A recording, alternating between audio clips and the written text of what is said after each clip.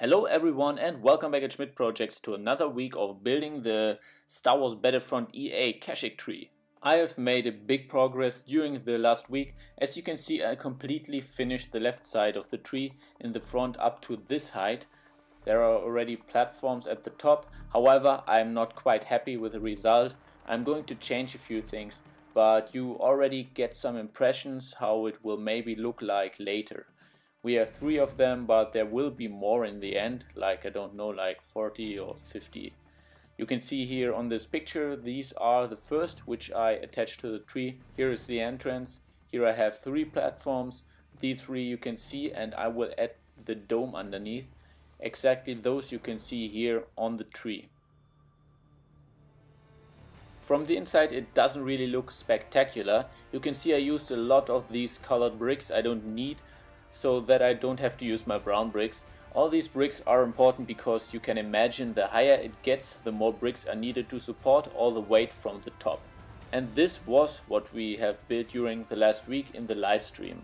That's the current situation. I am now walking around the MOC so that you get an overall impression.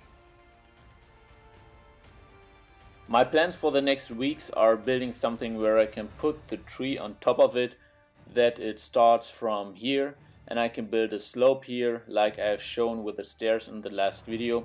The beach will start from here. Perhaps I will then start with the vegetation and have a second look at the platforms here that they look awesome. Since the problem with them is that I can't build any domes underneath it, they have to be more outside of the tree otherwise that isn't possible. So that is a mistake which has to be corrected. So they have to be at this position here. If you take into consideration that the tree will be here, the Wookiees can't really walk here and this doesn't make any sense because when we take a look at the picture here, you can see that the Wookiees can walk perfectly here without squeezing themselves at the tree.